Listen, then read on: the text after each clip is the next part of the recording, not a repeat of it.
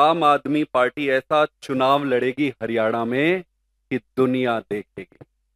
आज से पहले तक ऐसा द्वंद न कभी हुआ होगा और ना ही शायद कभी होगा। आम आदमी पार्टी सरकार बनाने के लिए चुनाव लड़ेगी। हर सीट पर चुनाव लड़ेगी, हर बूथ पर चुनाव लड़ेगी, पूरी ताकत से चुनाव लड़ेगी।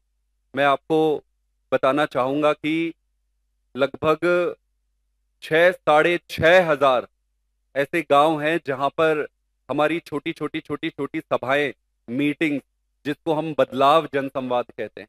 लगभग साढ़े छह हज़ार गाँवों में बदलाव जनसंवाद हो चुका है और इन छोटी छोटी जनसंवाद में एक ही चीज़ निकल के आ रही, बदलाव बदलाव बदलाव।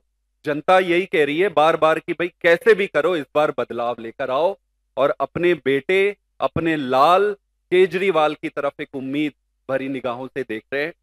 तो ये चुनाव बहुत अद्भुत और अभूतपूर्व होने वाला है। आने वाले 20 तारीख को, इसी 20 तारीख को एक टाउन हॉल होगा, जिसमें कि हरियाणा के लिए जो केजरीवाल की गारंटी है, उसका लॉन्च किया जाएगा। इसके साथ ही साथ आम आदमी पार्टी बहुत जल्दी अपने विधानसभा अध्यक्षों की नियुक्ति करेगी और चुनाव पूरी ताकत से लड़ेगी। आप सबने देखा होगा कि कुरुक्षेत्र में कैसे हमारे सुशील गुप्ता जी चुनाव लड़े थे। इसमें लगभग नौ विधानसभाओं में, तीन विधानसभाओं में सीधे सीधे जीत दर्ज किए थे।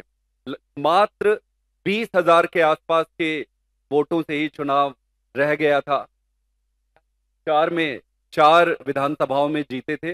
तो आप सबने देखा होगा कि किस तरीके से कुरुक्षेत्र का चुनाव लड़ा गया था। उसी ताकत से, उसी एनर्जी के से हरियाणा के हर विधानसभा में, हर गाँव में, हर बूथ पर। चुनाव लड़ा जाएगा।